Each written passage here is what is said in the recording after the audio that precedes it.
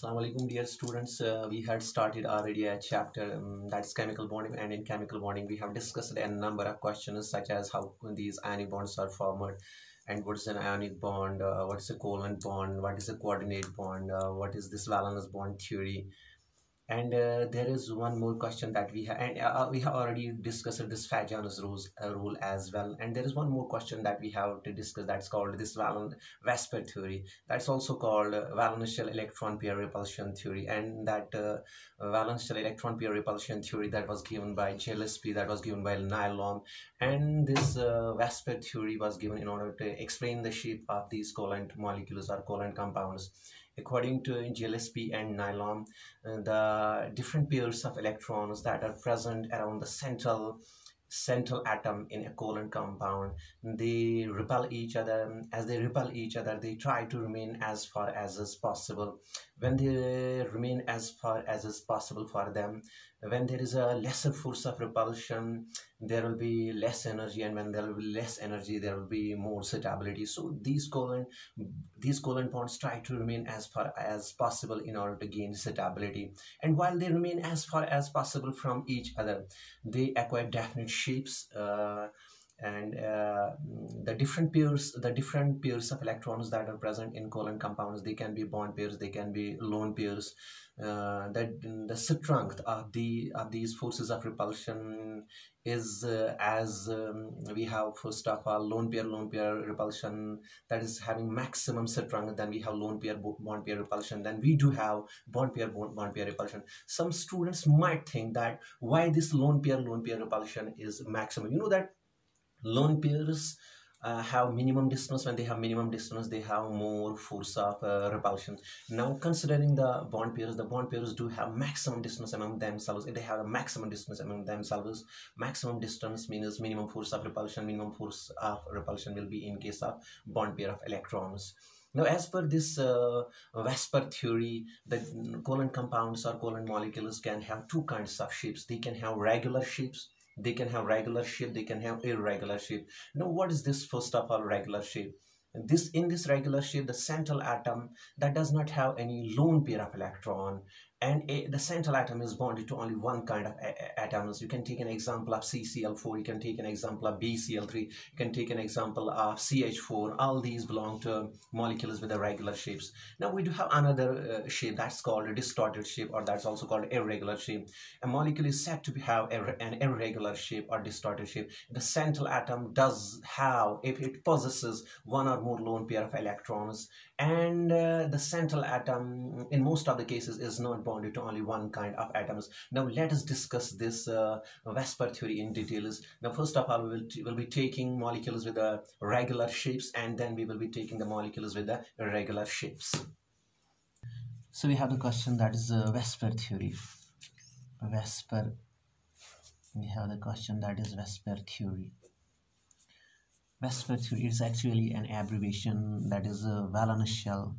We have valence shell electron, valence shell electron pair, valence shell electron pair repulsion theory, valence shell electron pair repulsion, valence shell electron pair repulsion theory. This theory was given by this theory was given by Gillespie and Nyholm N-Y-H-L-O-M Nyholm to explain the shapes of covalent to explain the shapes of covalent compounds. According to according to this theory, according to this theory, the different pairs, the different pairs of electrons the different pairs of electrons that is lone pairs and lone pairs and bond lone pairs and bond pairs repel each other. They repel each other. Therefore they maximize they maximize the distance. They maximize the distance among themselves they maximize the distance among themselves. That is they try to remain. That is they try to remain as far as far as is. They try to remain as far as is possible because lesser the force of repulsion lesser the force of repulsion lesser is energy. Lesser is energy. When lesser is energy therefore more is the stability more stability the order of repulsion. The order of repulsion. The order of repulsion. The order of repulsion among different. The order of repulsion among different peers of electrons is as under. We have lone pair lone pair repulsion lone pair lone pair. It is lp lp that is lone pair lone pair repulsion. It is more than lone pair bond pair repulsion. It is lp lp repulsion. That is maximum. Lone pair lone pair repulsion is more than lone pair bond pair repulsion. And that lone pair bond pair repulsion. This is lone pair bond pair repulsion. It is more than bond pair bond pair repulsion. So you, you, can observe that lone pair lone pair repulsion is maximum while as bond pair bond pair repulsion is minimum. Now somebody might think why it happens that it is more.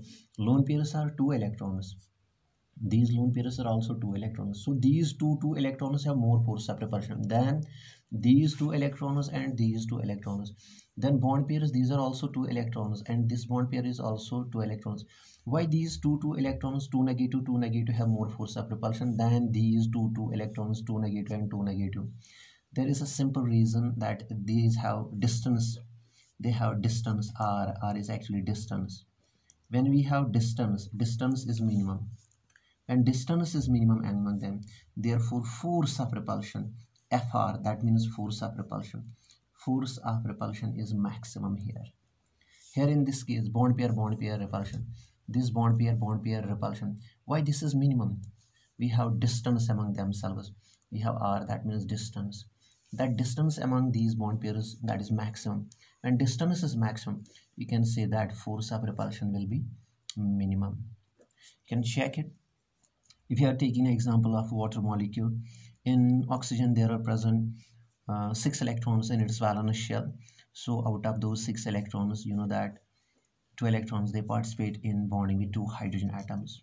So one electron is contributed by this uh, uh, oxygen atom another is contributed by hydrogen atom. We have one electron contributed by oxygen atom. So another electron is contributed by this hydrogen atom. So the electrons that are present in the bonding this covalent bond this is called a bond pair. So this is bp bond pair of electron. This is also called bp that is bond pair of electron. So you can show it like this. This is also bp that is bond pair of electron. Now oxygen had six electrons in bonding but it used only two electrons in the bonding. So it will be having on the top one lone pair. So here i'll be having another lone pair. So it has two lone pairs of electrons. Now you can check yourself that we have this we have this oxygen oxygen and oxygen these lone pairs the distance among them is we have distance r. This distance r this is minimum. This is distance r1 this distance r1 is minimum. So we can say that this distance r1 this distance r1 uh, we can represent it r1 so this distance r1 is minimum. And this distance r1 is minimum. We can say that force of repulsion here will be maximum. So i have maximum force of repulsion. There is one more distance. The distance between lone pairs was represented by r1 the distance between this lone pair so it was lone pair and it is also called a lone pair. They were having distance r1 this lone pair and bond pair they are having another distance. So you can represent it by r2 this r2 is more than r1 this r2 is more than r1 so distance is slightly more. So i can say that this distance is more so when distance is more i can say force of repulsion fr that is lesser. So i have lesser force of repulsion. Now i'm going to bond. This is a bond pair that is also a bond pair. These bond pairs and bond pairs they have a distance. They have, they have a distance that distance can be represented by r3 so i have r1 distance i have r2 distance and finally i do have here r2 distance and that's maximum when that distance is maximum i can say that force of repulsion in this case that force of repulsion will be minimum. So we can say these lone pairs were having more force of repulsion because they were very close to each other. This negative and this negative this negative pair and negative pair they were close to each other. When negative negative are very close to each other they will be having more force of repulsion. This lone pair that is negative and negative they are slightly away from each other so this force of uh, repulsion will be lesser. And in this case the bond pair and bond pair they are far away from each other so they will not be experiencing too much force of repulsion. The order therefore we can say that, that the order of repulsion is lone pair lone pair is more repulsion lone then lone pair bond pair repulsion and then we are finally coming at bond pair bond pair repulsion. That is the minimum force of repulsion. This is only because of the different different different distance among these pairs of electrons. Now let's according to this theory the covalent molecules can have the covalent molecules can have following types of shapes. So we'll be having as per so we have as per VSEPR theory as per VSEPR theory. As per VSEPR theory, covalent compounds have covalent compounds have covalent compounds have following following uh, types. They have following types of they have following types of shapes. Number one is molecules with regular shapes. Molecules with regular shapes. We have molecules with regular shapes. Now when we say that molecules have regular shapes if central if central atom if central atom has if central atom has no lone pair if central atom has no lone pair what are lone pairs lone pairs are those valence electrons that have not participated in bonding. So we can say if central atom has no lone pair and it is bonded to only one it is bonded to only one kind of atoms. For we have the example we have ch4 carbon is bonded to only hydrogen atoms and carbon was having four electrons in the valence shell and used all its valence electrons in bonding. We have CH4 then we can say we have CCl4 we have then beryllium chloride BeCl2 then we have C CCl uh, we have BCl3 we can take another example that is BCl3 we have one more example that is SF6 sulfur hexafluoride. We have one more example that is PCl5 etc all these molecules are believed to be have the scientists believe that they all these have regular shapes and they definitely they have regular shapes now these were the molecules that were having the irregular shapes. Now we have one more type of shape. Covalent molecules have they have molecules with molecules with molecules with irregular shapes. Molecules with irregular shapes. Molecules with irregular shapes. These irregular shapes are they're also called distorted shapes. Distorted molecules with distorted shapes. If when we say that molecule has a regular shape if central if central atom if central atom is bonded if central atom is bonded to a uh, different if central atom is bonded to different kind of atoms in most of the cases the central atom will be bonded to different kind of atoms. And if it is not bonded to different kind of atoms it must have in that case one or more lone pair of electrons.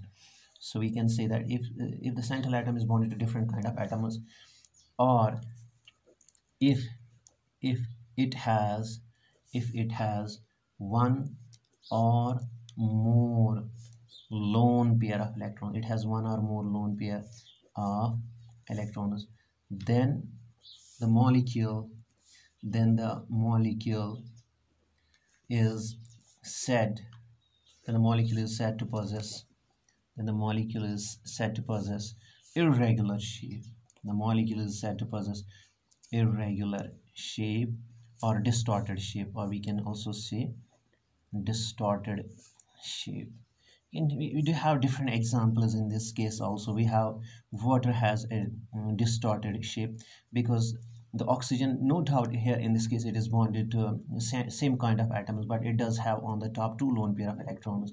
We have one more example. We have nh3 it has on the top one one lone pair of electron we have sf6 it is also having no we have sf4 sulfur tetrafluoride. And in this case sulfur was having six electrons in the valence shell. It used four electrons in the body but still it is left with one lone pair. So the the etc we can say. So these are the different molecules that do have these irregular shapes.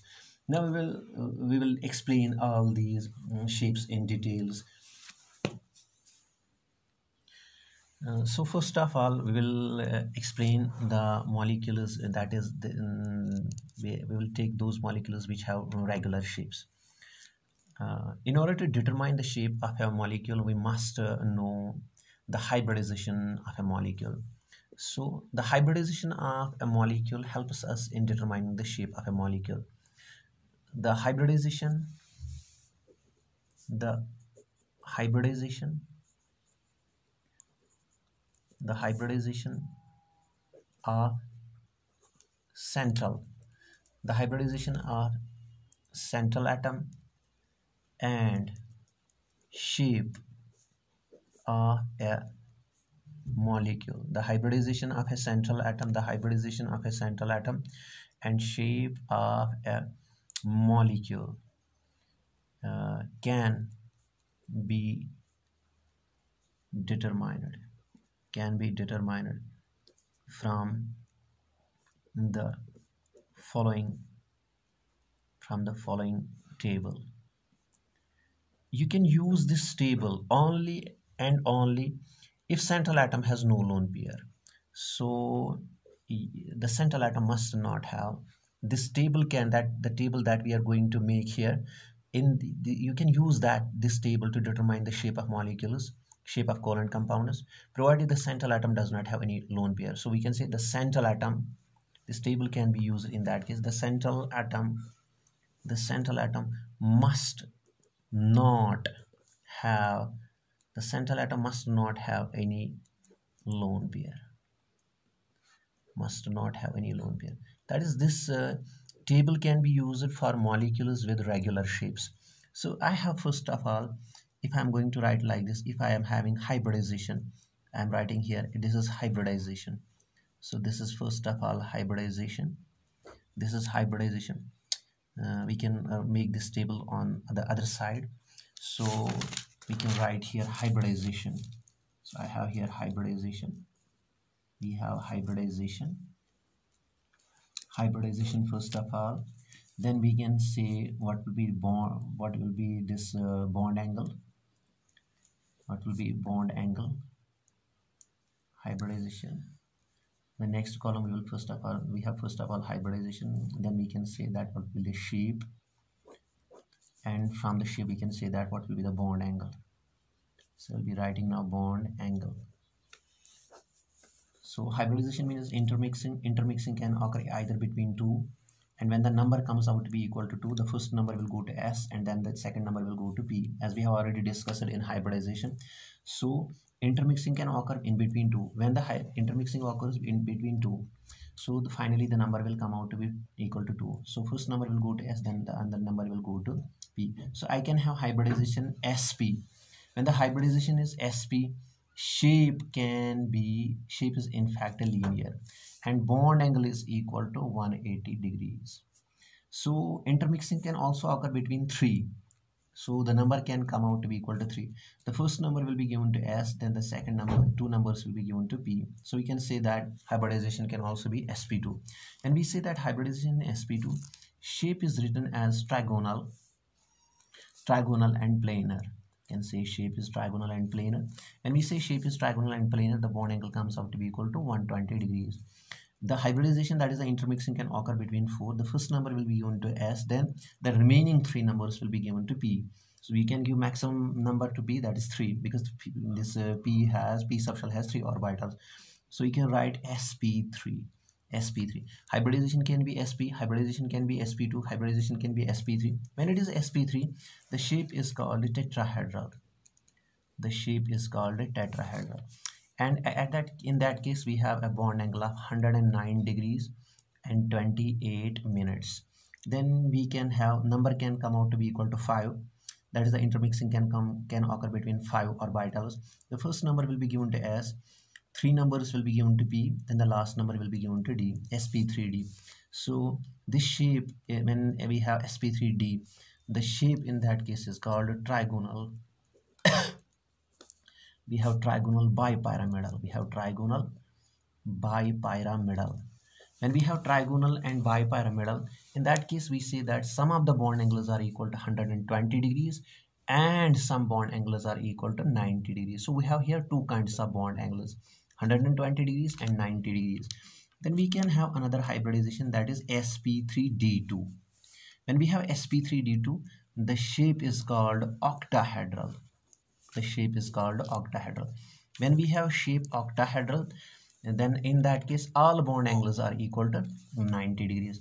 Then we can have uh, that intermixing can even occur in between. This was uh, the intermixing occurring between six. The intermixing can also occur between seven orbitals. So we can say in that case we have sp3d3 when we have hybridization sp3d3 in that case we call the structure is said to have the structure of the compound is said to be pentagonal. This is pentagonal and bipyramidal. Pentagonal and bipyramidal. Bipyramidal. When we have a shape pentagonal and bipyramidal we have some of the bond angles they are equal to 72 degrees you have to first of all in pentagon you have to divide 360 into 5 when we have a pentagon you divide 360 into 5 so we have we have a pentagon we are going to divide in pentagon we have to divide that 360 we have pentagonal you have pentagonal. You have to first of all divide that 360 into five parts.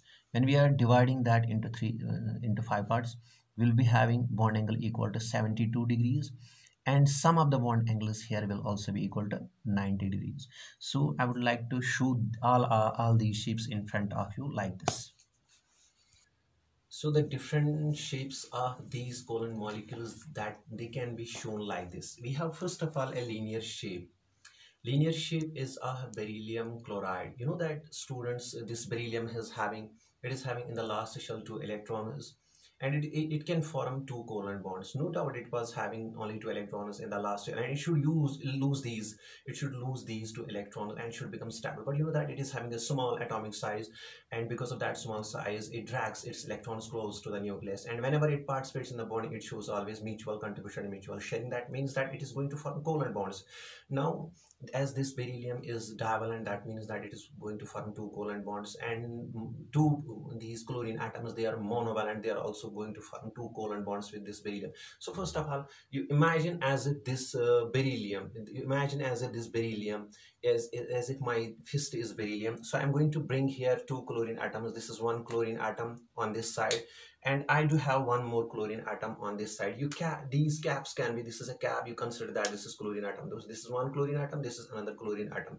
So this here my fist you can consider that this is beryllium atom so beryllium has formed one bond with one chlorine atom another bond with another, another chlorine atom this beryllium has used one electron in the bonding and this uh, chlorine has also used one electron in the bonding so in the in the central region there are present two electrons that's a bond pair of electrons these two electrons do have negative charge. So here i am having two electrons with a negative charge. I do have here two electrons also with a negative charge. One electron has been used by this beryllium in the bonding and another electron has also been used used by this uh, chlorine atom in the bonding. So there is also mutual contribution and mutual sharing. So these two electrons have negative charge and these two electrons also have negative charge. So this bond pair and this bond pair they are going to repel each other. Some students can draw the structure of this beryllium chloride like this but it is not the exact structure. It is not the stable arrangement of these bonded atoms. So this bond pair and this bond pair they have a lesser distance means there there is more force of repulsion. When there is more force of repulsion there is more energy. And there is more energy means that it is having less stability so what these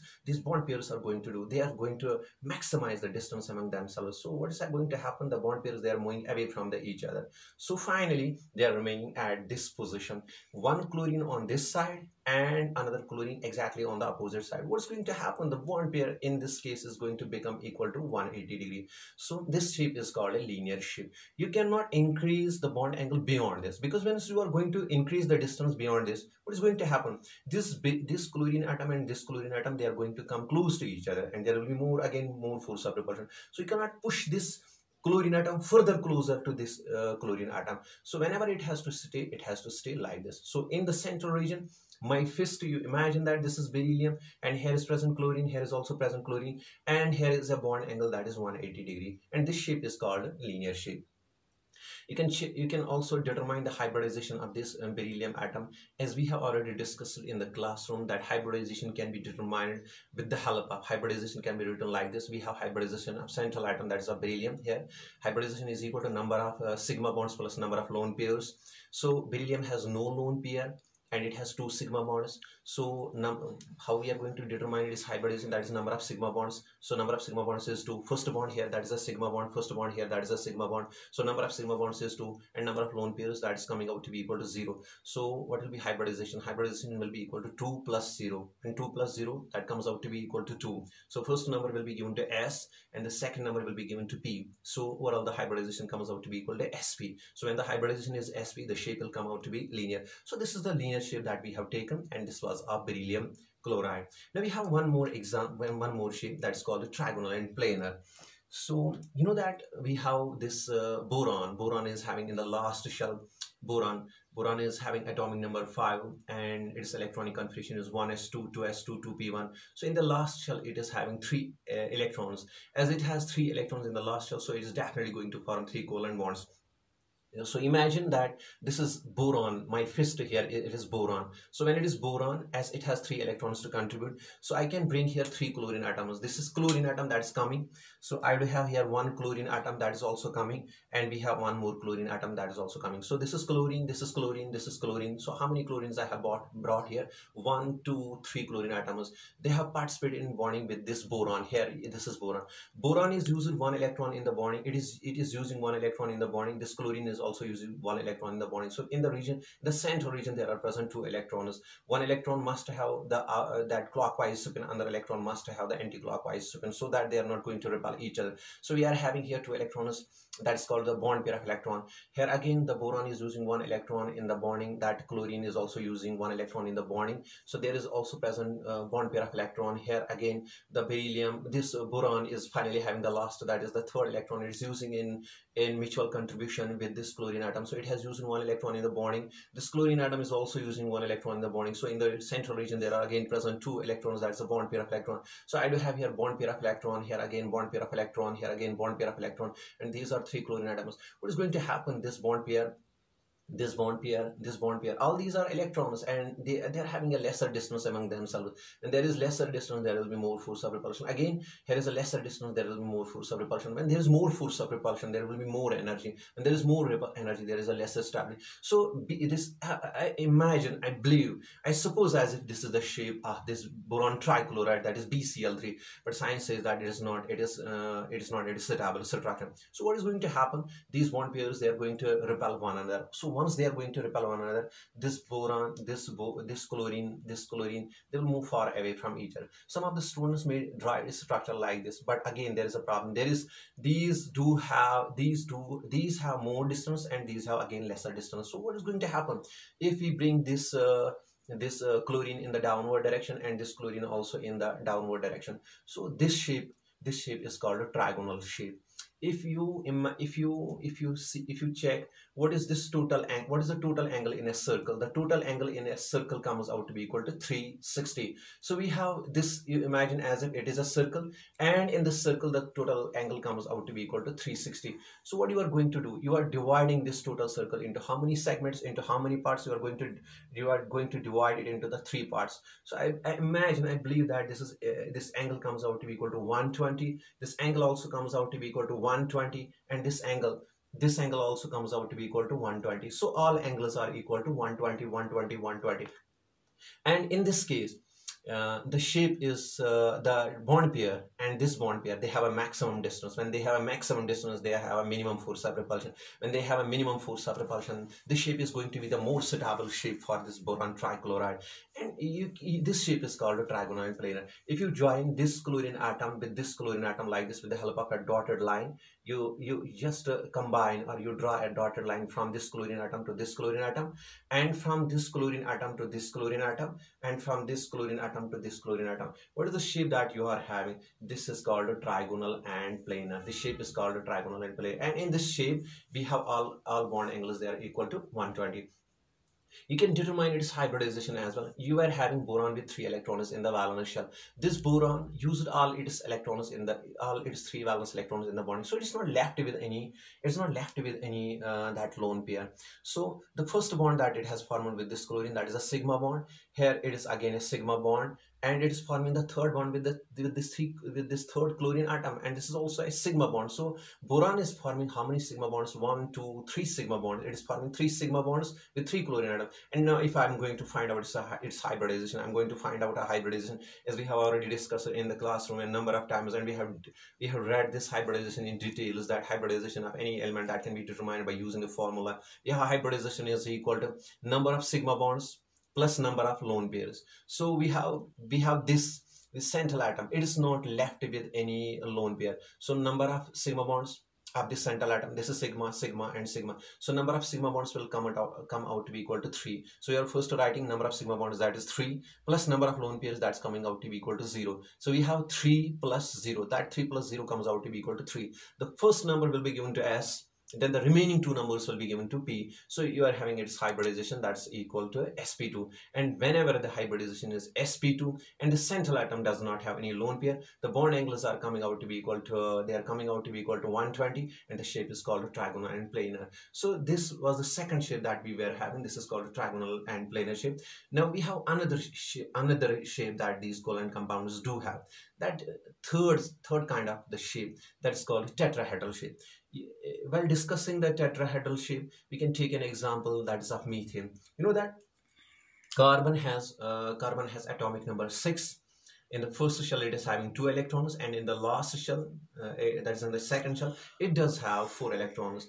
As uh, it has four electrons in the valence shell it uses all its four electrons in the bonding as you know that it is tetravalent. So when it uses all its valence electrons in the bonding it is not left with any uh, unpaired, unpaired uh, that is not left with any lone pair so i have here you imagine again this my fist this uh, my my hand you imagine that this fist is equal to carbon. So it is a carbon. It is going to form first bond with this. You cap this cap can be considered as hydrogen. So this is hydrogen atom. This hydrogen atom is coming and it is forming bond with this carbon atom. So one electron has been this is hydrogen hydrogen is using is using one electron in the bonding and this carbon is also using one electron in the bonding. So i have again here hydrogen. Hydrogen is using this is second hydrogen that is coming and that is using just one electron in the bonding and carbon is also using one electron in the bonding. We have here one more this hydrogen that is also using one electron in the bonding and this is also using one electron in the bonding. So there is mutual contribution and mutual sharing. So we do have here another hydrogen that is also coming and participating in the bonding. So overall i do have here one hydrogen then the second hydrogen, then the third hydrogen, then the fourth hydrogen. So I have four hydrogen atoms. What these, this is a bond pair, this is also a bond pair, this is also a bond pair, and this is also a bond pair. These are electrons. Bond pair means they, they are two electrons, they are also two electrons, two electrons, and two electrons. These two electrons have negative charge, these also have negative charge, these have also negative charge. You cannot keep all these hydrogens in the same direction like this when you are when you are when you draw its structure like this this negative charge negative charge negative charge negative they are having a minimum distance. When they are having a minimum distance they have a more force of repulsion. When they have more force of repulsion it is not too much stable it appears as if it is it is going to get exploded. So it's not a stable molecule. What's going to happen? Some of the students in their earlier class they were they do draw these structures like this. They take this as carbon. They keep hydrogen on this side one hydrogen on this side another hydrogen on this side and one more hydrogen on this side and there is the last hydrogen that is like this. They draw the structure like this. They maximize the they maximize they maximize the distance it appears to them that this is the maximum distance but you have not not used all this space uh, uh, for these hydrogen atoms so what you were observing here angle you were it was appearing that the angle is equal to 90 degree here 90 degree here 90 degree here 90 so you were imagine you were assuming that this is maximum distance there is minimum force of repulsion there is more stability. But science says that beyond this 90 degree angle there can be more you can increase further this bond angle. How you take this as central atom that is carbon. You keep one hydrogen in this direction another hydrogen in this direction and last hydrogen in this direction. So first you were you were you were you were believing that the bond angle should have been 90 degree. But this bond angle can be increased to a more extent like this you can drag this hydrogen to this side this hydrogen to this side this hydrogen to the, the bond angle that they are having. This is not 90 this is 190 degrees. 100 i'm sorry this is 109 degrees. 109 109 and 28 minutes. That minute is a part of a degree. So i have first of all 109 degrees and 28 minutes. That is it is greater than 109 degrees 28 minutes every in every every degree you have 20 you have in fact 60 parts. And they they resemble with with the minute hand. Um, with the minute hand as in a minute you do have there 60 seconds in the same manner in a degree there are present 60 parts and they as they resemble with those that's why we call them as minutes. So we have here 109 degrees 109 degrees and 28 minutes. So first we were we were believing that angle should have been 109 degree we were we were believing that angle should have been 90 degree but it it does not come out to be equal to 90 degree. It comes more than 90 when it is more than 90 there is more distance distance. When there is more distance there is further decrease in the force of repulsion. When there is a further decrease in the force of repulsion there is a decrease a further decrease of energy. When there is a further decrease of energy there is a further increase of stability. This shape is called a tetrahedral shape. When you have bond angle 109 degrees when you have a bond angle of 109 degrees in 28 minutes that shape is called a tetrahedral shape. Now it is tetra. Tetra means four tetra means four hedron means equilateral triangles so how can we draw these four equilateral triangles on this? You, you can you if you if you join with the help of a dotted line if you join with the help of a dotted line this hydrogen atom with this hydrogen atom. So if you are going to draw it like this you are going to you are going to join them with the help of a dot, dotted line. You do have here one equilateral triangle on this side. You have one more equilateral triangle on this side you join this also with this one and you join this one with also with this hydrogen atom. So you have how many equilateral triangles? One you have two then three. And base automatically comes out to be equal to one more equilateral triangle. You have base that is also an equilateral triangle. So base is also when you connect this this when you connect this hydrogen with this one you have when you connect this hydrogen with this one this hydrogen with this one and this hydrogen with this one. Automatically the base will also be a trigonal. It will also be a trigonal. So we call it in fact that will be trigonal. That will be equal to an equilateral triangle. So how many equilateral triangles i do have in this shape? I have here one equilateral triangle another equilateral triangle and another equilateral triangle.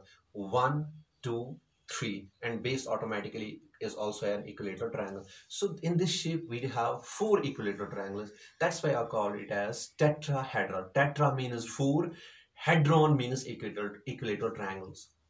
So this was the tetrahedral shape. We have one more kind of a shape that is uh, that is called trigonal and bipyramidal and in order to explain this trigonal and bipyramidal a must have a must have there a molecule that is pcl5 you know that students we have in this uh, phosphorus phosphorus is in fact pentavalent. As you know that phosphorus is pentavalent and sometimes it is uh, as well. When it uses only it is uh, three electrons in the body that's in the ground state. When when you excite its electron by giving it some amount of energy that's called excitation energy. It does have a valence that is uh, uh, that is equal to five. So now let's assume that this uh, phosphorus is forming five bonds with five electronegative elements that is with these uh, chlorine atoms so again you have to imagine that this is in fact a phosphorus when this is phosphorus, it is going to form one bond with chlorine atom. We have one more bond with another chlorine atom. Here one more chlorine atom. Here one more chlorine atom. So four chlorine atoms have been already brought. Now I'll be having another chlorine atom. So I have here one, two, three, four, and five. So five chlorine atoms were there. Some students say, sir, this hand, and this my fist, this is phosphorus. Here is present chlorine chlorine, chlorine, chlorine, chlorine, chlorine. What has happened? This phosphorus has used one electron in bonding here one electron in bonding here. This chlorine has also used one electron in bonding here. So here are present two electrons. This is called a bond pair. These electrons have negative charge. Here is again one, this phosphorus is using one more its electron in bonding. This chlorine is also using one more electron in bonding. So there is also present a bond pair of electron. Here is also present bond pair of electron. Here is also present bond pair. So overall this phosphorus has formed now finally five bonds. Now students, they try to maximize the distance. They say, sir, this the shape should have been like this. You know sir you know you have not used this space for these atoms and you have not used this space for these atoms. Why we are leaving this space free? You are you are you know that total angle of the circle that should come out to be that comes out to be equal to 360 and you are dividing that 360 into you are dividing that 360 into five parts. And when you are dividing that 360 into five parts um, that comes out to be equal to when you have 360 divided by 5 that may come out to be equal to 52 or that may come out to be 54 whatever the angle that comes out to be equal to. But science says that you can increase bond angle more than this 52 or 54 whatever there is. So you have here you do have here you have increased the distance but it's not too much distance. If you take this uh, chlorine out and this chlorine also out so what you are going to do?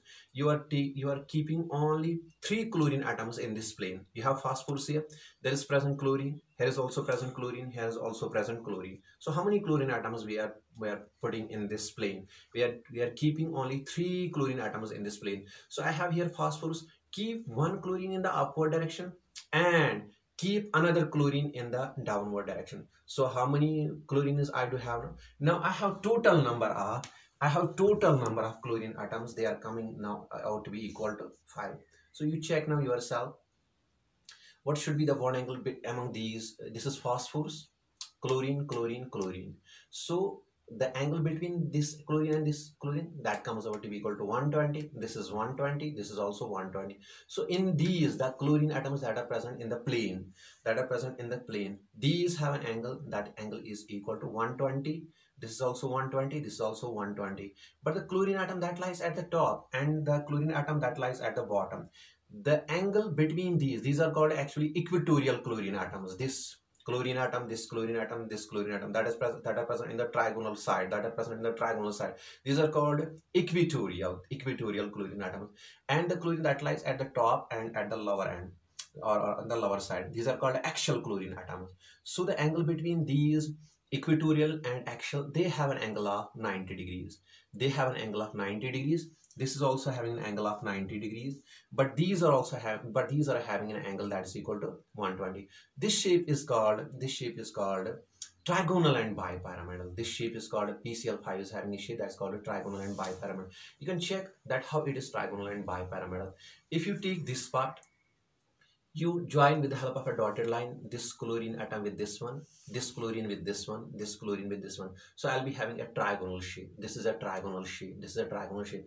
Now you keep this chlorine atom on the lower side and another chlorine on the on the upper side. So you can if you now join this chlorine atom with this one this chlorine atom with this one this chlorine atom with this one you see that at the lower end on this side it is it is broad at the lower end and pointed at the top anything that is broad at the low at the lower end and pointed at the top that's called a pyramid you can take example of mountains mountains are broad at the base and they are pointed at the top that's like this this is called a pyramid it is broad at the base and pointed at the top that's why i called it as pyramid same is the case here you have pointed at the top you have pointed at the top and broad at the base so this is first pyramid and on the lower side you again have a pyramid like this you can check so how can you draw again? You join this uh, chlorine atom with this chlorine atom, this chlorine atom with this chlorine atom, this chlorine atom with this chlorine atom. So what is going to happen? Again, it is it is becoming a pyramidal structure. So you can see that it is becoming a pyramidal structure. It is pyramid. It is broad at the base and pointed at the top. So you have how many pyramids? You have here one pyramid one pyramid at the upper on the upper side and another pyramid at the lower lower side. So you have two pyramids but the shape comes out to be equal to trigonal and bipyramidal because if you join this one this part with this one this part with this one you have here a trigonal shape trigonal shape and then it is bipyramidal. This is a pyramidal part. This is also a pyramidal part. So this shape is called a trigonal and bi bipyramidal. If you are going to find out this hybridization, that is the hybridization of this phosphorus atom. The first bond it is going to form with this chlorine atom. This is a sigma bond. This is also a sigma bond. This is also a sigma bond. This is also a sigma bond. This is also a sigma bond. So we have this phosphorus. It is forming how many sigma bonds? Five sigma bonds. First, second, third, fourth, and fifth. And it's not left with any uh, that's called lone pair. It had five electrons in the valence shell. It used all its five valence electrons in the body. So if I am going to find out hybridization, hybridization can be determined by using the formula. Hybridization is equal to number of sigma bonds. So the number of sigma bonds of this phosphorus that's coming out to be equal to five. So number of sigma bonds is five plus number of lone pairs that is zero. 5 plus 0 that comes out to be equal to 5. The first number will be given to S the three numbers will be given to P. So I have SP3. Then the last uh, remaining number will be given to D. So I have in this case the hybridization is SP3D. So whenever the hybridization is SP3D and central atom does not have any lone pair, the shape is said to be trigonal and bipyramidal. Now we have one more example, one more kind of a shape that is of SF6 and that shape is called an octahedral shape. Now, you know, students we have sulfur it's having six uh, six electrons in the valence shell and it can use all those six electrons in the bonding. Once you are giving it the excitation energy it can use all its valence electrons in the bonding. And that the elements with which it can form the, those uh, six bonds they must be electronegative because whatever the amount of energy you are giving from your side that energy must come out and its sulfur should become uh, more suitable. So we have first of all this sulfur. You have sulfur. You are bringing here you are having here sulfur you are bringing here fluorine. Suppose that you are bringing here fluorine. You are bringing another fluorine. Now we have one more fluorine. You have one more fluorine. I have brought here four fluorine atoms. Now we have fifth fluorine atom. And we have now finally this cap also can be assumed that is also fluorine atom. Fluorine is our monovalent. They are going to form only one bond. So i have here how many fluorine atoms? Six. And this is sulfur. So you are making a bond like this. You have sulfur. You are make you are keeping all these bonds close to each other. So they are going to repel each other. So what is going to happen these bonds will try to move away from each other. So they are going to move move away from each other like this. You can draw the structure like this. You can make the structure like this. So this was fluorine. Fluorine used one electron in the bonding and sulfur also used one electron in the bonding. This is what these caps are fluorine fluorine fluorine fluorine fluorine fluorine. This fluorine is using one electron in the bonding sulfur also using one electron in the bonding so here are present two electrons one is of sulfur another is of fluorine. This is called a bond pair. This bond pair has having negative charge. This bond pair is also having negative charge. Here is one electron of this sulfur. Fluorine is also contributing one electron. There is present two there are present two electrons. That's a bond pair. Same is the case here. There are present two electrons. Here are present two electrons. There are present two electrons. These two electrons are repelling these two electrons. So they are trying to maintain a gap among themselves they're also growing trying to maintain a gap among themselves. So it appears that the shape should have been like this. Students say so this sf6 must have a shape like this. That is uh, what should be the shape? If you join this one this with this one i think it appears it is going to become a hexagonal shape. It should have been a hexagonal like this. It has one side another side so one two three four five and six. So it appears that it should have a hexagonal shape. And the bond angle should have been equal to 60 degrees but it's not possible to have this 60 degree bond angle because science says that the bond angle can be increased more than this bond angle. When you are increasing the bond angle more than this bond angle there can be more distance there can be lesser further lesser force of repulsion there can be more stability. So this hexagonal shape is not the shape this SF6. So what is going to happen if you take this uh, fluorine atom out and this fluorine atom also out. So how many fluorine atoms you have taken out? You have taken two fluorine atoms out. Now what you are going to do? You keep these four fluorine atoms in the same plane. One fluorine, another fluorine, another fluorine, and you have here you have here four fluorine atoms. You are keeping them in the same plane, and you are taking now one fluorine in the upward direction. What is the total angle? What is the total angle in a circle? The total angle in a circle is equal to 360 now you are dividing that 360 not into six parts but only into four parts.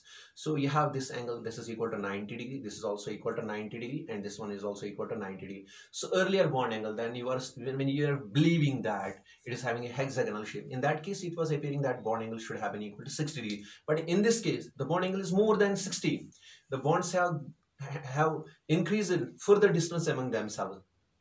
This negative and this negative. They have more distance. When they have more distance they have a lesser force of repulsion. They have further lesser force of repulsion further lesser energy further lesser energy means further more stability. So i am keeping one two three four fluorine atoms in this in the same plane.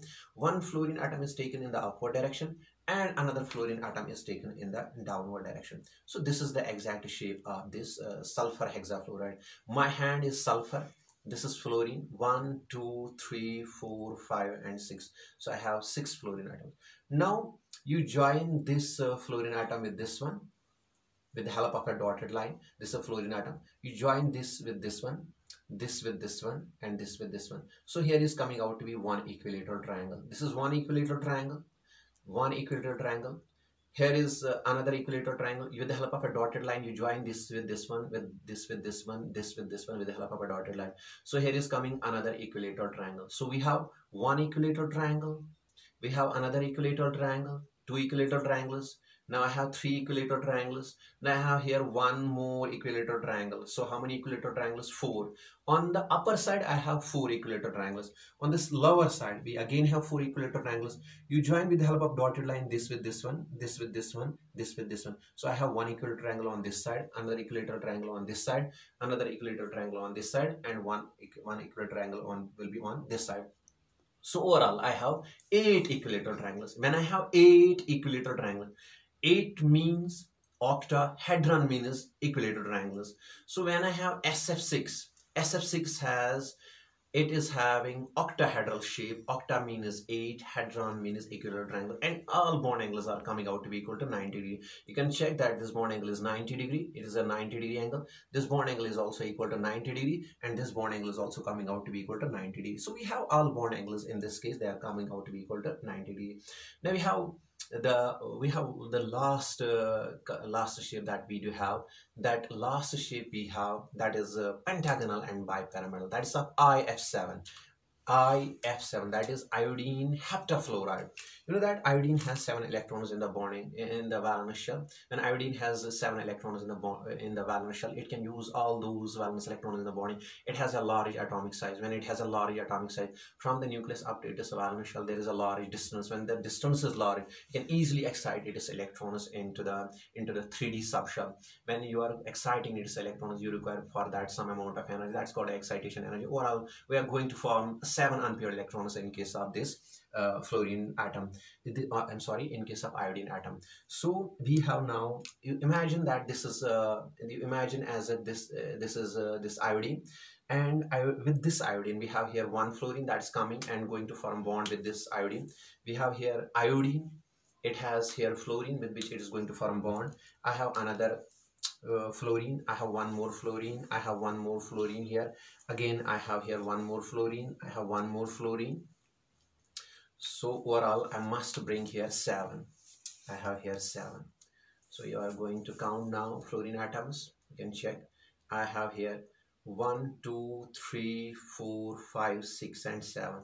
And while bringing these my hand is here this iodine. So one electron was contributed by this iodine bond uh, with by this iodine in bonding and another electron was used by this fluorine atom in bonding. This cap these caps you consider all these caps they are fluorine atom. This fluorine is atom is contributing one electron in the bonding and this uh, iodine is also contributing one electron in the bonding. Same is the case here it is contributing one electron that is also contributing one electron. So here are present two electrons that is a bond pair this is also bond pair these bond pairs have negative charge this also have negative charge these also have negative charge. So they are going to repel each other and they are trying to move as far as is possible. So students imagine as if their shape should have been like this. No not at all. Science says that you have some angle here. Yeah you are dividing that 360 into seven parts. When you divide that 360 into seven parts might be that might come out to be equal to 52 or whatever is the value 50 or 52 or 48 whatever there is. So science says that you can increase this gap more than this value. How? You take two fluorine atoms out like this when you are taking two fluorine atoms out so when you are taking two fluorine atoms out you can keep one fluorine atom in the upward direction and another fluorine atom in the downward direction like this. So what will be the shape? If you join now this fluorine atom with the help of dotted line with this one so what you have done? You have increased the gap. So if you join this fluorine atom with this one this with this one this with this one this with this one this with this one what you are going to form you are going to form a pentagon. What will be the shape you have here a pentagon shape. You have here a pentagon shape. You have here how many sides? One side another side third side fourth side and fifth side. So you have here first of all pentagon. Then you call it as pentagonal and bipyramidal. What will be the angle in between them? The angle between them will be equal to 72 you have to divide 360 360 into 5 parts when you are dividing 360 into 5 parts so you'll be having some of these angles these angles equal to 72 72 72 72 and here you are keeping one fluorine in the downward direction and another fluorine in the upward direction. These will be having an angle of 90 degrees. These will be having an angle of 90 degrees. These will also be having an angle of 90 degrees. But these will be having an angle of 72 degrees among themselves so in this shape this is called a pentagonal and bipyramidal. This shape as you were calling this shape as pentagonal this shape. But if you join with the help of dotted line this fluorine with this one this with this one this with this one this with this one this with this one with the help of a dotted line you have this part broad at the base and pointed at the top. When you have anything pointed at the top and broad at the base this is called a pyramid if you have here one pyramid in the upward direction you definitely have another pyramid in this direction also. You can you can join this with this one this with this one this one and you will get another pyramid in the in the downward direction also. So how many pyramids you are getting? You are getting two pyramids. So this is called pentagonal this is called pentagonal and this is called bipyramidal. So we have this shape this is called a pentagonal and bipyramidal. And this pentagonal bipyramidal shape is of this uh, IF7. And if you are going to find out this hybridization there is a hybridization of central atom that is of iodine atom. The first bond here this is sigma bond this is also sigma bond this is also sigma bond this is sigma bond this is sigma bond this is sigma bond this is sigma bond. So all these seven bonds they are sigma bonds. Now it is not left with any unpaired electrons. So or lone pair i'm sorry it is not left with any lone pair so you are going to now find out its hybridization. Hybridization is equal to number of sigma bonds. That's number of sigma bonds is equal to 7 plus number of lone pairs that is 0. We have hybridization is equal to 7 plus 0. When you have 7 plus 0, that's 7 plus 0. That comes out equal to 7. You give first number to S, then three numbers will be first given to P. When you have three numbers, they are given to, to, to P. We have SP3. Then the remaining are only three numbers and they will be given to D. So overall, we get a hybridization that is SP3D3. And whenever you have hybridization, sp3d3 the shape is pentagonal and bipyramidal and that is r if7 now we have some molecules which are having irregular shapes. How they have irregular shapes? They have irregular shapes or distorted shapes or deviated shapes only because of the presence of lone pairs and we will discuss these uh, molecules with irregular shapes as so we have taken first a hybridization that is sp and when the hybridization sp shape is linear we have example here the molecule in which is it is eh, it is that is beryllium chloride. We have BeCl2 is there. Beryllium chloride is the molecule in which eh, the hybridization is sp and shape is linear and bond angle is 1 180 we have sp2 hybridization. When we have hybrid example we can take it is a BCl3 we have BCl3 is the uh, example. We have here eh, sp3 sp3 that is tetrahedral. We can take an example that is ch4 is there methane is there whose uh, shape will be like this. And we have one more example that is ccl4 carbon tetrachloride is there. We have here sp3 that's trigonal and bipyramidal. It is the shape of we have an example. Example is here pcl5 is here. An example in which uh, the central atom will be having shape that is uh, trigonal and bipyramidal. We have sp3d2 that is octahedral. Octahedral it is in in case of sf6 that is sulfur hexafluoride. When we have sulfur hexafluoride here now we have the last one that is we have sp3d3 that is pentagonal. When we have pentagonal if you have pentagon you divide uh, you divide 360 into when you divide 360 into 360 degree into five parts when you divide 360 into five parts that is uh, that comes out to be equal to uh, 60 degrees and 90 degree. That come that will come out to be equal to 60 degree. So we'll be having this uh, this um, this angle will come out to be equal to this angle will come out to be equal to in fact it will not be 72 this angle will not be equal to 72 it will be in fact equal to 52 degrees. I'm sorry. It is equal to 52 degrees and the another angle. That is the the actual fluorine atoms that this will be equal to 52 degrees and this one will be equal to 90 degrees. It is not 72 it will be 52 degrees and 90 degrees. And this pentagonal bipyramidal is it is the shape of the compound that is IF7 iodine heptafluoride. Then we have we have some molecules which in which the in which um, in which the central atom has irregular shape. So we have we have this uh, next kind of shape that uh, we have already taken that is molecules with molecules molecules with irregular shapes molecules with irregular molecules with irregular shapes.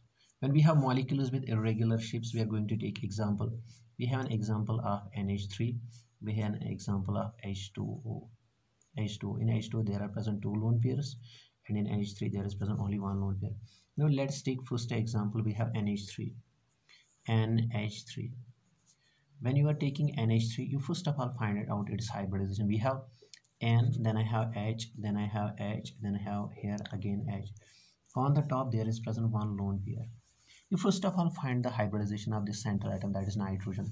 So hybridization can be determined by using the formula hybridization is equal to number of sigma bonds. We have number of sigma bonds number of sigma bonds plus number of sigma bonds plus i have number of lone pairs. This formula we generally use to find the hybridization number of lone pairs. So we have number of sigma bonds and number of lone pairs. Hybridization of we were determine the hybridization of central atom that is of nitrogen. So number of sigma bonds the first bond here is a sigma bond the first bond here again sigma here the first bond that is also a sigma bond. So number of sigma bonds is 3 number of lone pairs that is 1 then we have 3 plus 1 that will come out to be equal to 4 the first number will be given to s and the remaining three numbers will be given to sp3 when hybridization was sp3 so from the table from the chart so from the table from the table whenever we have hybridization from the table from the table when hybridization from the table when hybridization is equal to sp3 when hybridization is sp3 therefore shape therefore shape should have been. Shape should have been. Shape should have been tetrahedral. Shape should have been tetrahedral. When the shape should have been tetrahedral and bond angle must have been bond angle should have been bond angle should have been equal to 109 degrees and 28 minutes. But it's not equal to 109 degrees and 28 minutes and neither its shape is equal to the tetrahedral because of the presence of lone pair. Now what is going to happen in this ammonia? In this ammonia you are expecting that there was present nitrogen. Here H here is H here is again H and here is present lone pair. This bond pair and this bond pair and we have here one more bond pair. You were you were assuming or you were you were considering that this bond pair and this bond pair that bond pair bond pair they must have these bonds must have an angle equal to 109 degrees and 28 minutes. But because of the presence of lone pair these bond pairs they have repulsion with each other. This bond pair is repelling this bond pair. But from the top there is also coming one more repulsion that repulsion we call that repulsion as lone pair bond pair repulsion. So we have here this is lone pair bond pair repulsion lpbp repulsion. So we have lpbp repulsion from the top end. And you you imagine as if that force of repulsion is fr1 and we have here this is bond pair bp that is bond pair here is again bp that is bond pair so we have here bond pair is repelling another bond pair and that bond pair bond pair repulsion that can be represented as fr2 as you know that the magnitude of lone pair bond pair repulsion that is the repulsion that is coming from the top and that force of repulsion is more than this force of repulsion. So what is going to happen? The bond angles they will be forced to come closer to each other. They were trying to move away from the each other so once they were trying to move away from the each other but, but from the top end there is coming more force of repulsion. So they will be pushed closer to the each other. When they will be pushed closer to each other with the result of bond angle will get decreases so what is going to happen? Finally i have nitrogen. I have here when so I have here force of repulsion FR1 that is lone pair bond pair repulsion. That force of repulsion is greater than force of repulsion FR2 when the when the force of repulsion coming from the top end is more than the force of repulsion than this these will be these will be constructed these these will be constructed closer to each other they will be brought closer to each other so i'll be having here n i'll be having here h i'll be having here h I'll be having here H. So the bond that was lying at this support that has been brought closer to this bond. So what is going to happen? The bond angle has got decreased. This bond angle has got decreased. And practically it has been calculated that this bond angle is coming out to be equal to now. It is now coming out to be equal to it should have been 109 degrees but it is now coming out to be equal to 107 degrees. So there is a decrease in the bond angle. Because of the presence of that lone pair. So lone pair has disturbed or it has deviated its shape. And that's why we call these uh, distorted shapes. Now when the bond angle is coming out to be equal to 107 degrees this shape that this shape that the that this ammonia is acquiring this is called a pyramidal shape. So it is having a pyramidal shape. This is having a pyramidal shape. So this shape is called a pyramidal shape because it is broad at the base it is broad at the base and pointed at the top. So this shape is called a pyramidal shape. We have one more last example of this irregular shape. We have another example that is water. We have h2o in h2o you are having oxygen with you are having oxygen with how many lone pairs we are having oxygen with uh, two lone pairs. So there is present one lone pair there is again present one lone pair on this side.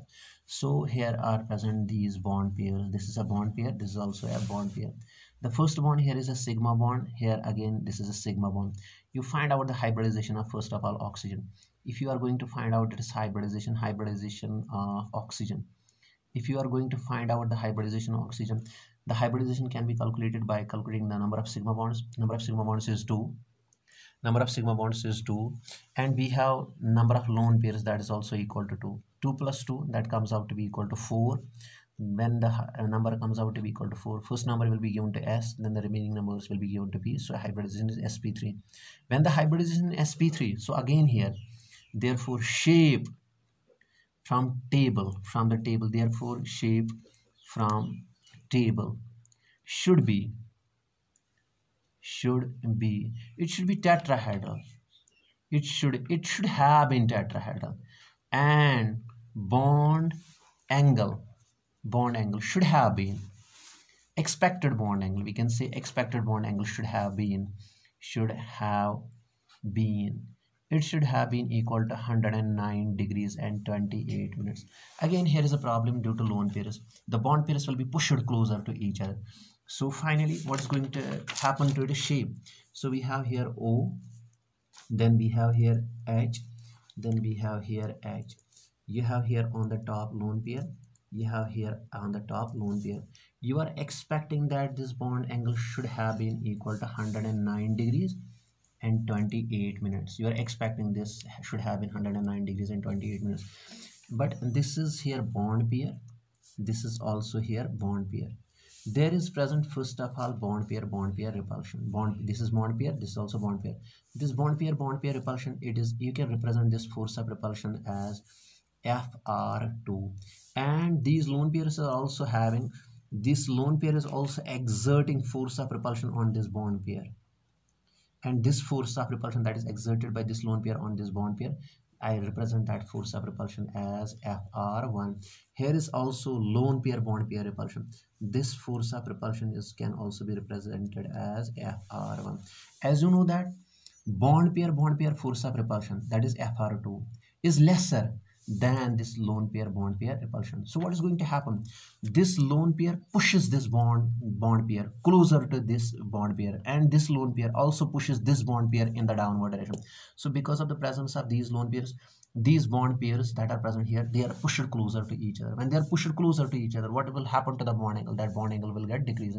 If the bond angle decreases from the expected bond angle then that shape is called a distorted shape. So what is going to happen?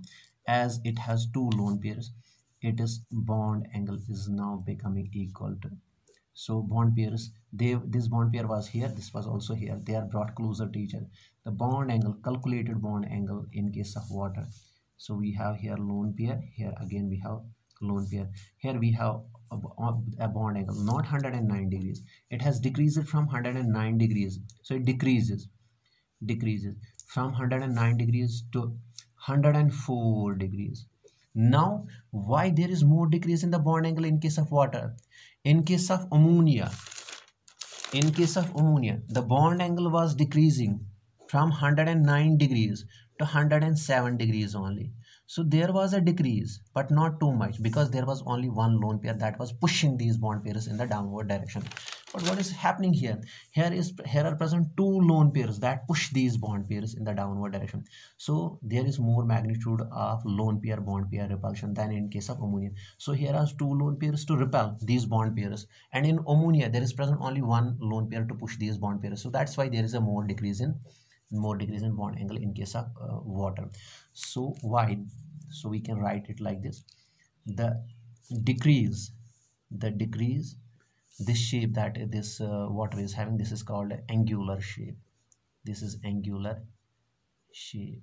You can also call it as bent shape. So we have the decrease in bond angle the decrease in bond angle of uh, this uh, water. The decrease in bond angle of water is more and greater. It is greater than decrease than decrease. It is greater than decrease in bond angle greater than decrease in bond angle of ammonia. Why? Because in water we have in water we have oxygen with two lone pairs and here we have only one lone pair than decrease in bond angle of ammonia. Because in water oxygen because in water oxygen has two lone pairs oxygen has two lone pairs to repel to repel. Bond pairs to repel bond pairs while in NH3 while in NH3 while in NH3 nitrogen has nitrogen has only one lone pair to repel bond pairs you know that sometimes reverse of this happens. It is we have not discussed in VSEPR theory. We can consider it in as an another part of another kind of uh, the force that is responsible for changing the shape of these molecules. You have in ethers. I have one more ether. I have one more example ethers. In ethers reverse happens. Ethers have a general formula r o r r o r this is an alkyl group you can consider it as methyl here. And this is r. This is also an alkyl group that is a methyl group you know that ether and water they have they have they should have the same kind of a shape you have here o then I can write here C H3 I can write it CH3 I can also write it CH3 so on the top there are present two lone pairs. You are you have to first of all find out its hybridization when you have hybridization where we were looking find, find out this hybridization. That is equal to number of sigma bond this is a sigma bond this is also a sigma bond. Number of sigma bonds is equal to 2 number of lone pairs that is also equal to 2 2 plus 2 that is equal to 4 number is coming out to be equal to 4 hybridization is sp3 if hybridization is sp3 now what should be bond angle? Bond angle. Bond angle should be. Bond angle should be what should be bond angle? It should have been 109 degrees and 28 minutes. But as is the reason in case of water the same reason should also go to this ether as well.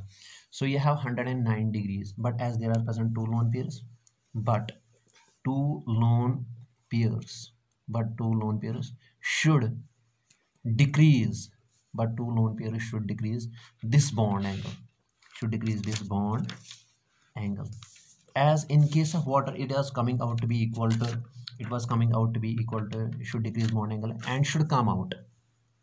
And should come out. It should come out to be equal to 104 degrees as was in water. As happened in water the same thing should also happen in ether as well. But it is not having a bond angle equal to 104 degrees. In fact it is greater than even 109 degrees so it is bond angle but here occurs here occurs an increase here occurs an increase in bond here occurs an increase in bond angle. Now how does it happen that eh, eh, it appears as if it is uh, going against to that VSEPR's theory? How there is an increase in the bond angle? It is bond angle is uh, in fact greater than it is in fact 110 degrees. It is in fact 110 degrees or greater than 110 degrees. Now why it is coming out to be greater than 110 degrees? We can check its structure like this. We have o then we have c then we have here c. We have here h we have here h we have here h we have here h we have here h and we have here h. These are methyl groups. You know that here is present a methyl group that is a bulky group there is also a methyl group that is a bulky group. And on the top there are present lone pairs. Here is lone pair. Here is also a lone pair. So what is going to happen? This lone pair is exerting force of repulsion on this bond pair. So this is a bond pair. So when this lone pair pushes this bond pair in the downward direction, when this bond pair is pushed, this bulky methyl group should come closer with this bulky methyl group, but there is not any space left they do not have any space. Almost no space. Almost no space. So what is happening? This methyl group this methyl group is repelling this methyl group. When the groups fight for the space so there is not any space. So that methyl group repelling this methyl group they are fighting for the space.